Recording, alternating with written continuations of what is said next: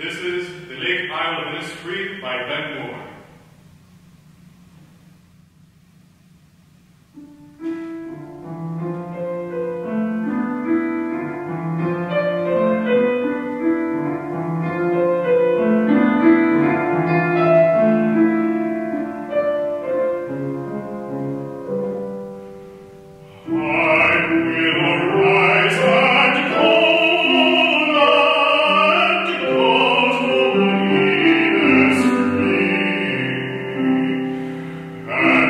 my